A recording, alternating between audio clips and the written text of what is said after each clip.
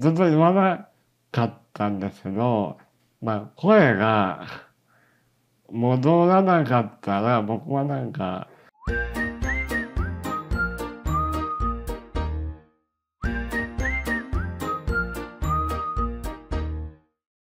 皆さん、こんにちは。ネタフリ社長の佐藤久です。皆さん、今僕って、まあ、こうやって、まあ、自分の声で、まあ、カメラに向かってね、あの、お話しさせていただいているじゃないですか。で、僕、まあ、新聞の連載とか、今までテレビで何回か、あの、昔のエピソード、あの、取り上げられたことがあるんですけど、実はですね、声が出なかった時があったんです。えー、2016年にちょっと人生であの今までないぐらい重たい肺炎にかかってしまって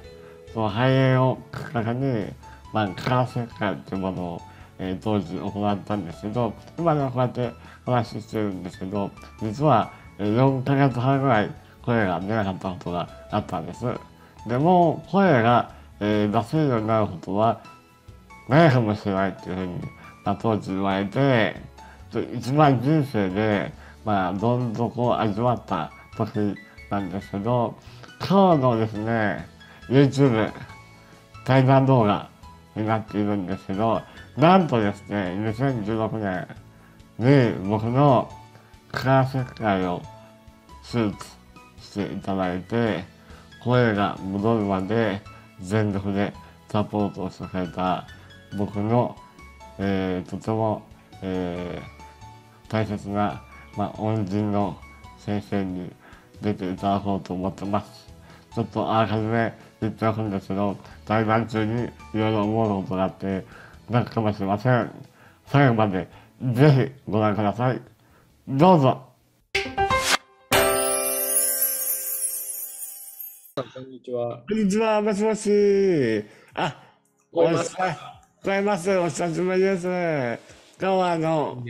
お忙しい中、あの、お時間取っていただきまして、ありがとうございます。こちらこそ。先生とお話しするのって、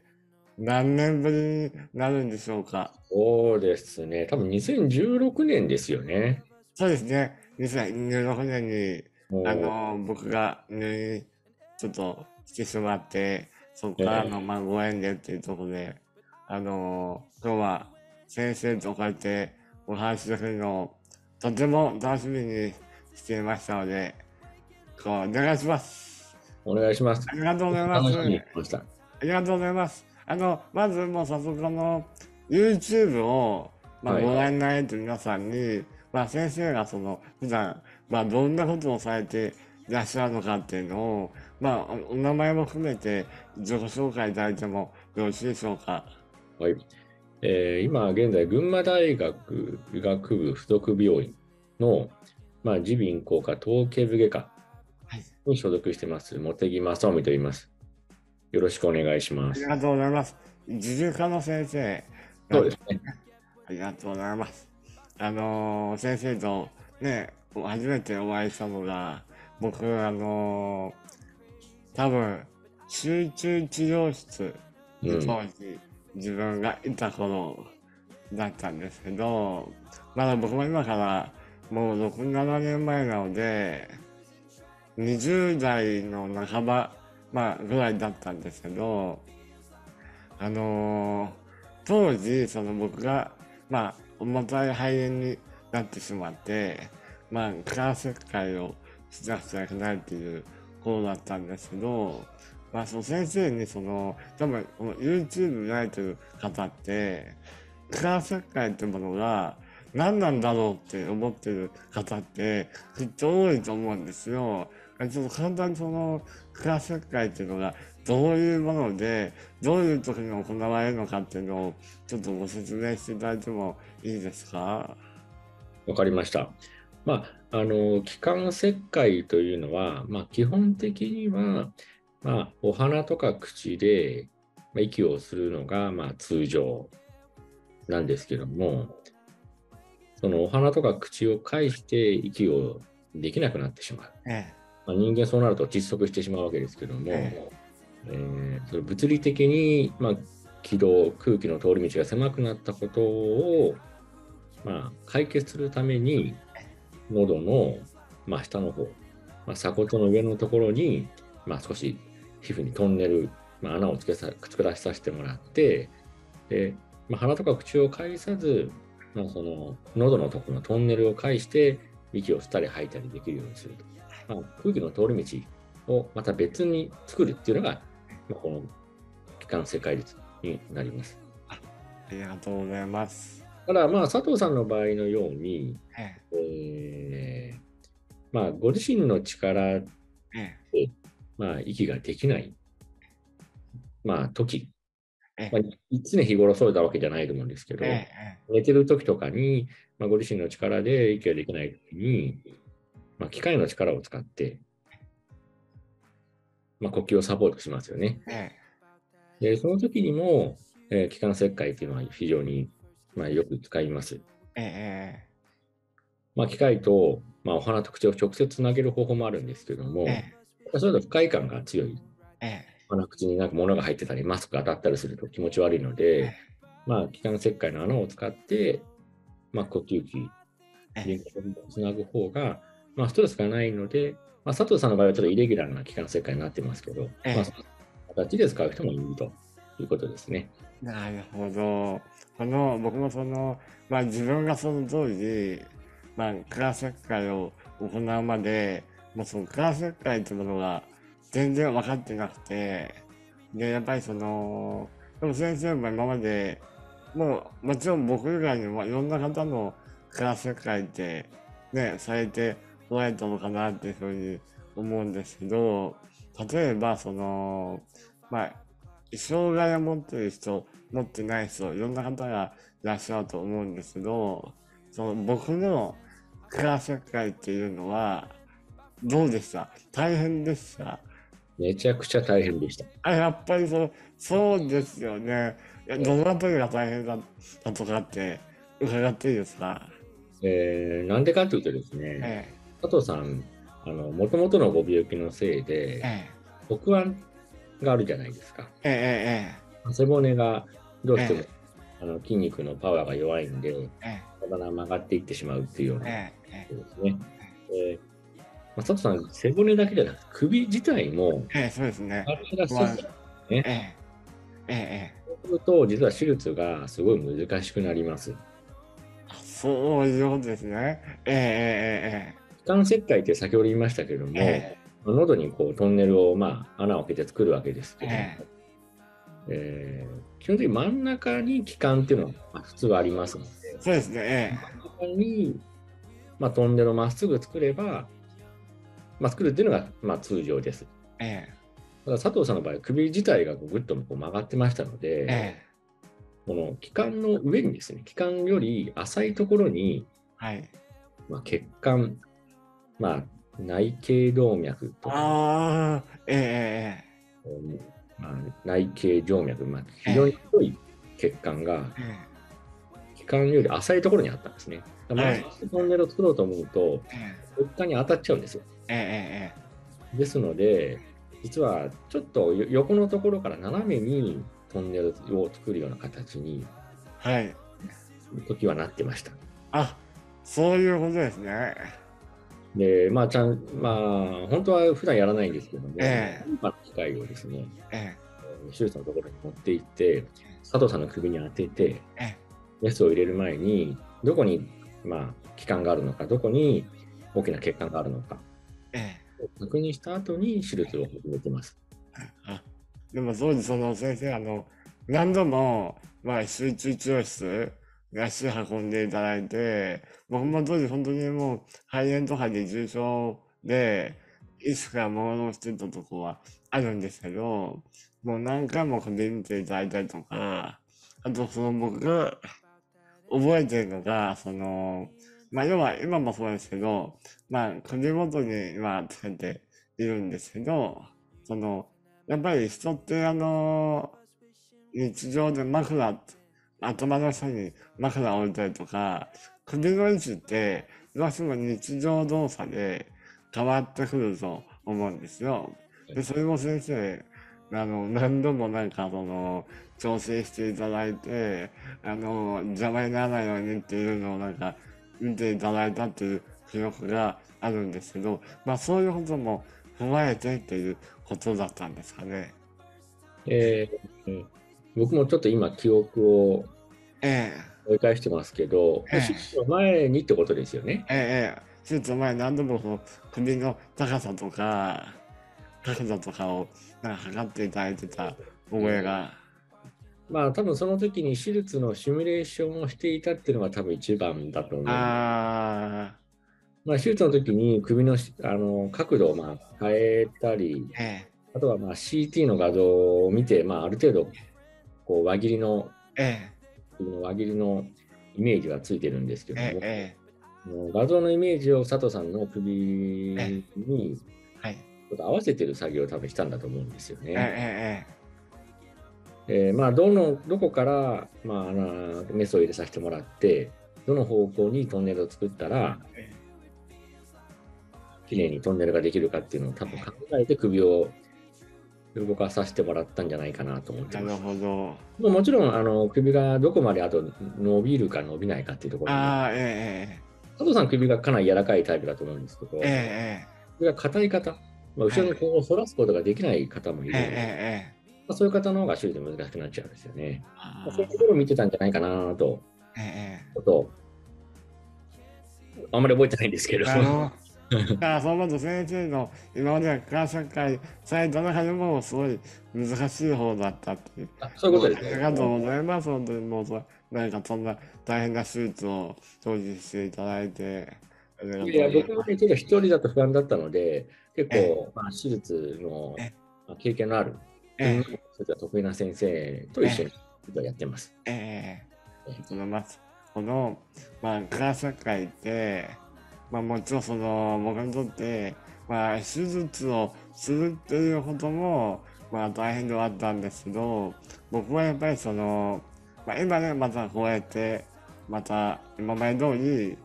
自分の声で話をするってことが、まあできるようになったんですけど、もう多分僕、先生に多分手術前からまた声で話せるようになりますかって、あの、まあ、家族も含めて、あの、何度も何度も、あの、あの、もう、まあ、わかんない状態であったと思うんですけど、あの、話をしていた記憶が僕もあるんですけど、先生ってそのあたりでなんとなく覚えていらっしゃいますか？そうですね、佐藤さんが、まあ、本当に声を気にしてらっしゃったっていうのは、あの、すごく僕覚えて。あとう。先生は、ちなみに僕当時、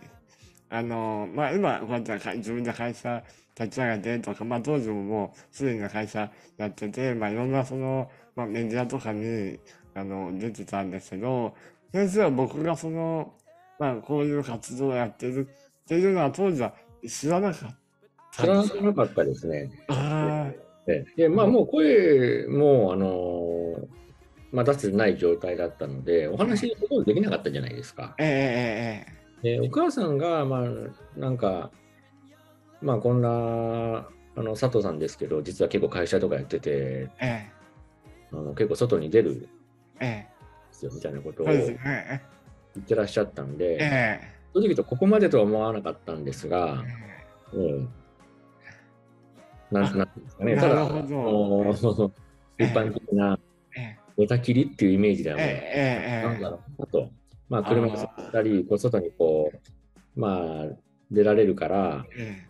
やっぱりそういったところも考えて、ちょっと、まあ、医療っていうかサポートしていかないといけないのかなとは、なんとなくはその時は思ってました。ああ、話する前ですね。ええ。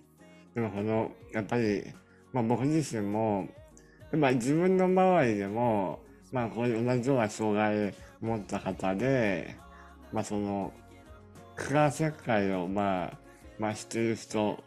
もいるんですけど、その、通常その多分ね、この YouTube 見られている方は、じゃあなんで科学社会をすると、まあその声が出なくなっちゃうのかっていうことも皆さんは分からないと思うんですけど、そうクラス会すると声が出なくなってしまう、まあ、理屈というか、まあ、仕組みっていうのはちょっと先生にご説明いただいてもいいですか？わかりました。はい。まあ、気管切開をしたから出なくなるというよりはですえね、え気管切開をしたことで、先ほど言った空気の通り道を、まあ、その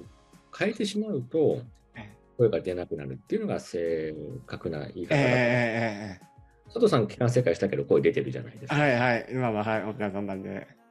いい声ですね。ありがとうございます。でまあ、あのまあ、細かい話を、まあ、させていただくと、えまあ、人間はどうやって声を出してるかっていう話からになります。えええー肺に吸った空気を、まあ、吐き出すわけですけども、え吐き出したときに、喉仏の骨の奥にある声帯っていう、まあ正解。はい。その声帯の隙間を通して声を出すときにああの、空気が通るときに声が出ます。声帯っていうのはこう開いたり閉じたり、まあ、この無動詞の形してるんですけども、ええこれがまあ閉じたりこう開いたりしてるわけですね。はい。まあ普段声出してないときはこう開きっぱなしです。はい。で声出すときに、この2つの声帯をこうぐーっと寄せて、でこの狭い隙間を通して息を吐くと声が出ます。で実は声帯には、まあええ、このカバーみたいなのが乗ってまして、えこの隙間を空気が通るときに、ええカバーがですね、ぐるぐるってこう震え、はためくんですよね。なるほど。えで、ここがきれいにはためくと、まあ、いい声になります。ええまあ、例えば、このカバーにポリープができたりする。ええまあ、ポリープのせいで声がしゃがれちゃうっていうのは、はいきれいにはためかないから、いいこうな声の波ができないってことなんですよね。そういうことなんですね。ええ声帯を通さないと、声帯を空気を通さないと、まあ、声が出ないっていうことになります。えええええ切開をしている方で、はい。いわゆる空気の通り道を、この喉のトンネルを介して息を吸ったり吐いたりしているということは、え声帯を介さないで息を吸ったり吐いたりしているということなんですね。基本的に喉仏の骨より下にえええで、もう肺から吐いた空気は、この穴を通って外に出ちゃうんですね。えええで、で吸うときは、この声帯より下を通して吸うと。まあ、声帯を通る通路でなくなるので、声が出なくなるということになります。クラス会をする上で、生帯自体ではダメージっていうのは負わないものなんですそかね。の時は、ね、追うことはないです。あ、そうなんですね。なるほど。でもあの、この、じゃあ、クラス会を、まあ僕の場合して、で、その、結構ね、その、もたく先生は一緒に、その、なんとか頑張って、声がね、戻るようにっていうふうに、すごいアシスト、えーサポートしていただいていた中で、結構その周りの皆さん、先生方って、まあ、とはいえその、まあ僕の生まれ持った、まあ障害というか、まあ難病の特性上、なかなかその呼吸器を外すことが、えー難しいんじゃないのかとか、また自発で自分の声に話すことが難しいんじゃないかっていう、やっぱり皆さん、なんとなくそういう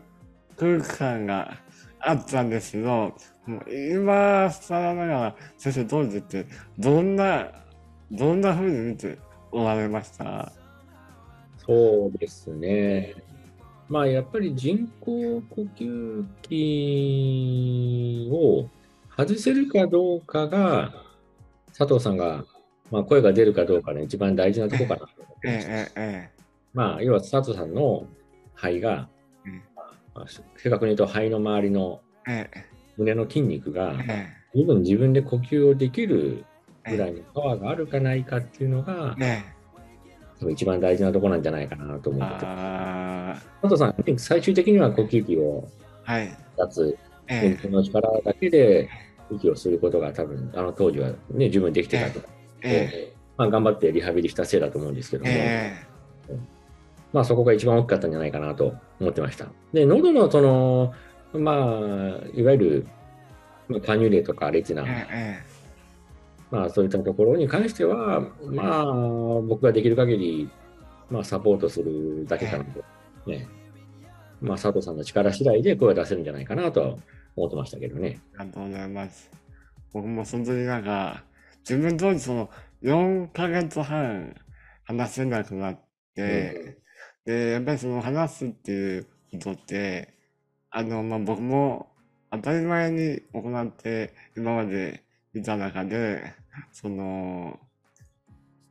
声が出なくなるっていう状況に陥るとは、想像もしなかったんですよ。で、僕本当に今自分でできることって、こうやって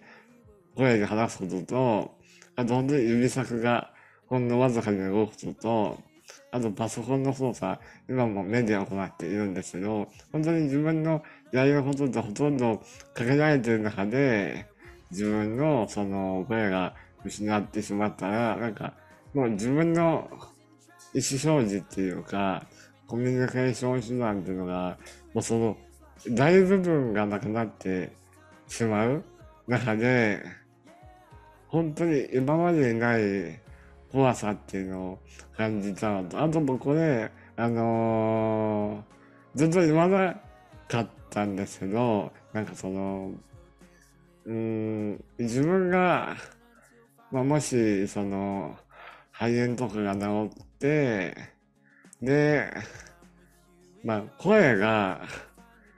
戻らなかったら、僕はなんか、もう死にたいなっていうふうに思っていて、だから本当に、そう生きるか死ぬかっていうの病気的なことじゃなくて、やっぱり、まあ、何もできない、何も伝えられないとか考えた時に、もうその、多分残りの人生で自分がやりたいことのほとんどはしなければならないって考えた時に、だから僕はもうそこでなんか、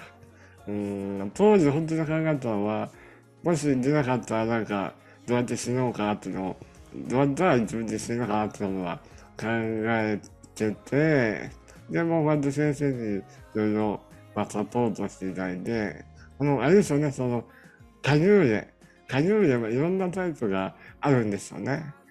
で、先生、あの、僕が今使ってるやつはどういう方が一般的に使われるんでしょうか？佐藤さん、今、今もレティナ使ってるレティナです。はい、レティナです。これって今見せてもらうのできます？あ、レティナ、はい。うんあーあ、でも綺麗にはい。管理されてますね。ええ、レティナ、はい。これつけて、ありがとう,、はい、ええやってるんですけど、ありがとうございます。えーまあ、今、あのー佐藤さん使ってるのがレティナっていう、えまあ、シリコンの柔らかい素材でできた、え、ええ、まあ、筒みたいなもんですよね。えで気管切開、まあ、先ほどトンネルを作るってお話ししましたけど、え、え。トンネルの中に差し込んでえ、使うっていう、まあ、そういうデバイスになります。ええ、で、まあ、レティナを入れておかないと何が起きてしまうかというと、えせっかく開けた穴がですね、だんだんだんだん閉じてしまうのでえ、トンネルが自然にえ自分で、まあ、自然治癒力でそうあの傷を治す力でええ、閉じて狭くなって、場合によっては完全に塞がってしまうのえで、その穴をキープしておく、え、まあ、そのための、まあ、筒だと思ってください。うん。でもちろん穴が開いてればそこを介して、まあ、息ができる。え佐藤さんはお鼻と口でも息できますけどもえ、、え。夜間だけは人工呼吸器につないでるんでしたっけ？え、え、夜間は、でも、夜間のマスクも鼻からやってるので、もう実際ほとんど、はい、もうここは、よっぽど体調悪い時以外は使わないっていうようあ使ってないんですね。ええ。あで、まあ、万が一の時のために、えうん、その穴を閉じ取っておきたい。え、え。え、という目的で使うのがレティナはい。になります。なるほど。え。で佐藤さんは、まあ、うん、本当はスピーチ加入例、まあ、声が出るタイプの長いこの、まあ、いわゆるストローみたいなもんですけえ、ど、ええ。その加入例っていうストローがちょっと合わなかったんですよね。そうなんですよ。声が出なかったので、もう、あの時に、結構自分の中で、ちょっともう絶望をか感じてしまって、皆さん大体それで声が出られるっていうふうに伺ってたので、なんかもう、それが出なくてっていうところだったんですね。ままあ、やっぱり、まあ、一番の原因は佐藤さんの首がどうしても曲がってらっしゃったので、そのトンネルがまっすぐ作れなかったっていうところだと思うんですよね。ああ、なるほど。まあそこははね。やっぱりね、あのどうしても、まあ、正常の首用に作られてるんですええけまあ、まっすぐのトンネルですかね、えこういわゆる首に対して垂直にできるえトンネル用なんですよ。えさんの首ちょっと曲がってらっしゃったから、トンネルもちょっと斜めで、まあ、上から下にこう行くような感じのトンネルだったと思うんえで、えだからちょっと既製品だと合わないかったなと思います。なるほど。ええええええそういうことですね。でも本当にどうにそんな僕は、もう何とかして、声が出る方法がなっているので、だから自分のね、その周りで、クラス学会やっている方とか、あとはインターネットで、あの、どういうものが喋れるのかなって調べて、なんかもう、声が出ないながら、先生にすごいいろんな、なんかこれ、どうですかっていろいろ言ってたんですけど、なんかあの、もう今になって本当に思うのは、まあ、その、なんか、まあ、先生とも本当にプロで、まあ僕は、まあ、まあ患者って立場で言えばすごい素人だと思うんですけど、その患者さんが、その、インターネットに調べたものとか、そういうので、これはできませんかあれはできませんかっていうふうに、その、ガンガンどうですかって言われるのって嫌じゃなかったですか？先生。あそれは嫌だと思ったことはないですね。むしろ患者さんの、まあ、熱意とか、ええあとはどこまでえ機械のことを分かってらっしゃるかっていうのがえ、えいっぱい教えてもらった方がこっちも分かるのえ、えで、え、ありがたかったなと思います。まあ、でも初めはびっくりしましたけどね。どうやってたんだろう？なと思って。ええ、ええ、でも本当になんか僕も、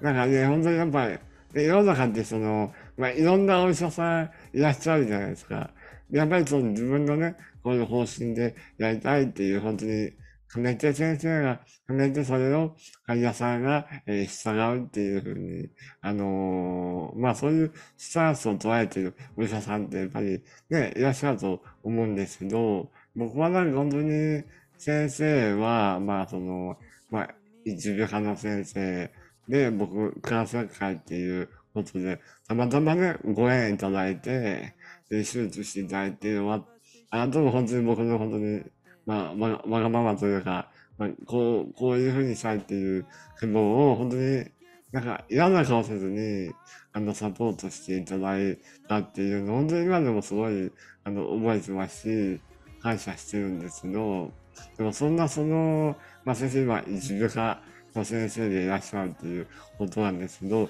なんでその一部科の先生になろうって思ったんですか？僕の話、えね。えーそうですね、まあ、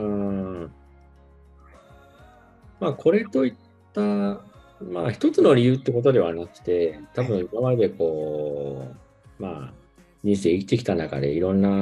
まあ、出来事とかイベントがあって、きっと選んでるんだと思うんですけどえ、え。まあ、その中で一番大きいのは、まあ、僕も佐藤さんと同じで、やっぱり耳に障害があるっていうことだとは思います。先生も耳に障害があるっていう。はい。佐藤さんのと喋った時もお見せしたかもしれないですけど、僕今補聴器使ってるんですね。えええこれ、これ見えますかねこれえ見えます見えます。えはい。えで、まあ、僕、生まれつきの、まあ、難聴、まあ、先天性難聴って言いますけど、えまあ、それで、まあ、実は、えーまあ、ずっと、まあ、困ってました。ええまあ、生まれつきの病気なんで、えまあ、正常がどういうものかわかんないですから、えまあ、なんとなくコミあの、すごい重症の難聴じゃないので、なんとなくコミュニケーションができてたんですけども、えやっぱり学校生活でええ。一人が悪い場面が多い。うん。距離が離れると、え急に何言ってるか分かんなくなるとか、ええ。後ろから話しかけられても気づかない。ええあと体育館とかで演劇見たりすると、まあ、全然何言ってるか分かんないですよね。えで、でまあ本当は補聴器を使えばよかったんですけども、えまあ、僕が生まれた時代っていうんですかね、僕は子供の頃は、まあ、この程度の難聴だったら、まあ、使わないでなんとかなるでしょうみたいな、そういう雰囲気もちょっとありましたし、え。自分自身も思春期だったっていうのもあって、なかなかこういった、まあ、補聴器、まあ、いわゆる集中心っていうのがあって、使いたくなかったり、いろいろな理由があって使わなかったんですね。ええただ、まあ、実際にまあ困る場面は本当に多くて、ええ。ーやっぱりまあ仕事を決めていく上で、まあ、医者になるんだったら、まえあ、自分の、まあえー障害が関わるまあ耳鼻科医、えまあ、特にまあ難聴診療っていうのをやりたいなとは、医者になったぐらいからもう考えてましたね。やっぱ先生もその、まあ、ご自身の、まあ、耳のご病気？で、まあ、まあ、そういう障害がある中で、やっぱりそういった方々をサポートしたいっていう思いがあったっていうことですそうよね。そうですね。はい。うん。え、今って補聴器がない状態だと、どのぐらい声って聞こえるものなんですか？そうですね。で僕は中等度難聴っていうレベルになります。まあ、あの軽いのと重症なのの真ん中ぐらいなんですけど、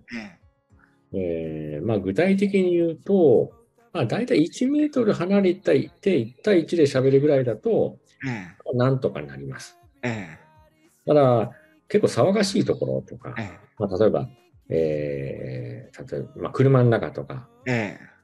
電車の中とか、え、はい。騒音が入ってきたりすると、一気に聞き取りが悪くなりますね。ああ、あとは、まあ、例えば、僕たち会議みたいなのやりますけど、大きな会場というか、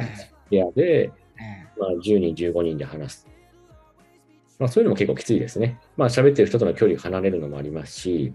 え、壁に当たってポンポンって反響して、こう、響いてくるんで、そういうふうに聞き取りが一気に悪くなる。なんとかなるけど、ちょっと聞き取りが難しい場面だと全然ダメっていう、そんな感じですかなね。じゃあ、補聴器を使えば、もう日常生活は何も問題ないっていうよそううな。そうですね。ええ何も一応問題なくやれてると思う。なるほどコミュニケーションは聴力だけじゃなくて、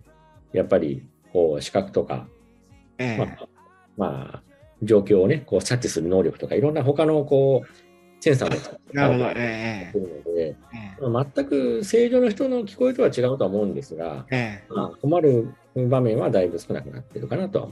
思ってますね。はい。いや、そんな先生のその、まあ、ご自身としての、まあ、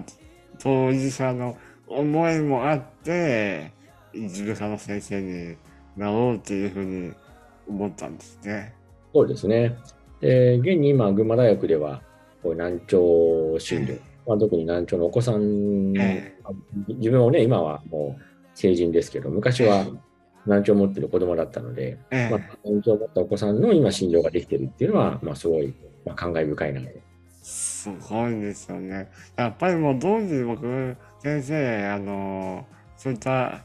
当事者の方の思いに寄り添うっていうのは、僕が今までで、今、僕も人生で、まあ、先生含め、いろんなお医者さんにお世話になってたんですけど、でもその中でもその、本当に患者さんの、その、病気を治すっていうことだけじゃなくて、まあ僕の場合、声を取り戻して、また今まで通りそういうコミュニケーションだったり、えー仕事をするっていう日常を取り戻したいっていう、あの、病気を治す一歩先に寄り添っていただかれたっていう先生。は、やっぱり本当にその中でも、まあ、土屋先生は、やっぱトップクラスだったっていうか、本当ダントツにあの僕は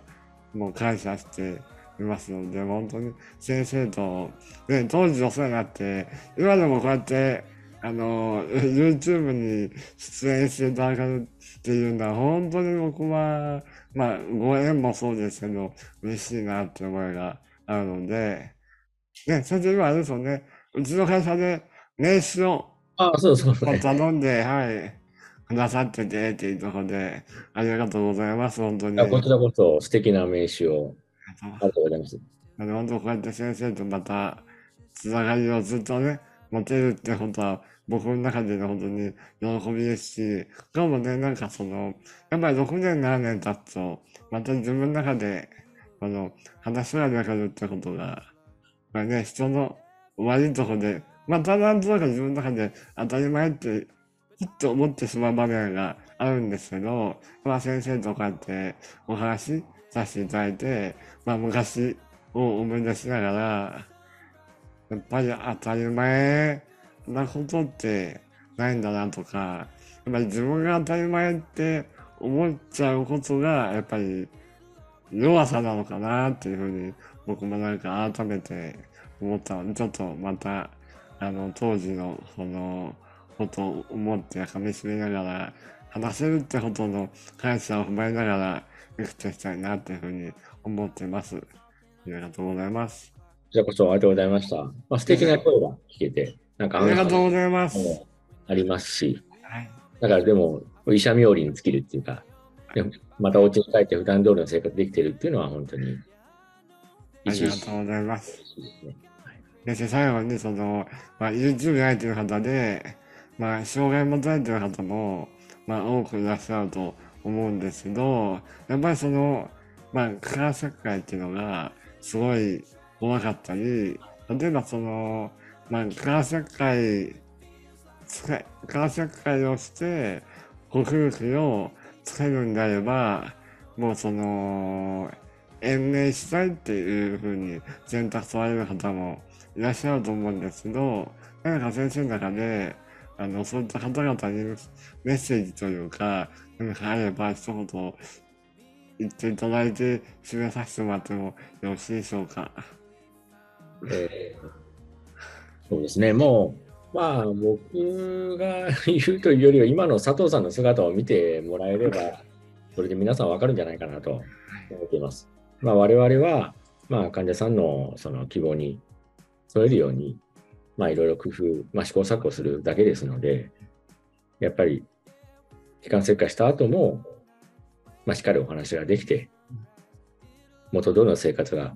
できる人もきっと多いと思うので、まあそういう気持ちがあれば、まあ、日本全国のドクターは皆さんサポートしてくれると思います。ぜひぜひ、いろいろ悩みとか、まあわがままでも、あ将来ああしたい、こうしたいということをぶつけてもらえればいいんじゃないかなと、まあ素直な気持ちで医者にぶつかってきてもらえればと思います。ありがとうございます。本当にね、皆さんに見ていただいて、なんか、希望をね、持ってもらえたら嬉しいなというふうに思います。はい。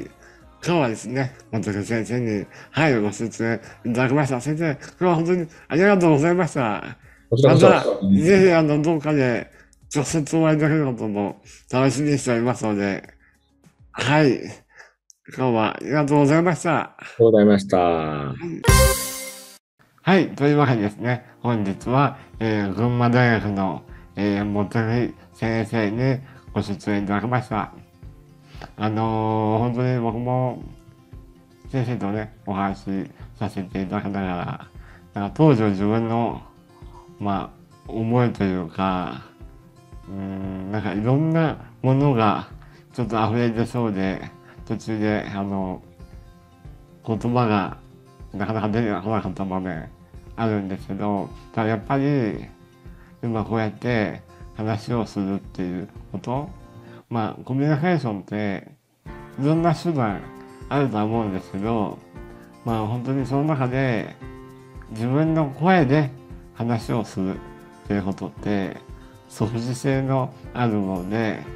やっぱり今の僕にとってこれはとても大切だし、でも、この声っていうものを諦めてしまわないといけない障害を持った方、重い障害を持った方が今たくさんいるっていうことも忘れないようにしないといけないなっていうふうに思ったので、なのでまた、あの、先生とね、対談でもあったんですけど、自分が声で話をするっていうことを当たり前だと思わずに、あの、それが普通だと思わずに、また過ごしていきたいなっていうふうに思いますし、自分の声に思いを乗せて、これからもね、こう YouTube だったり、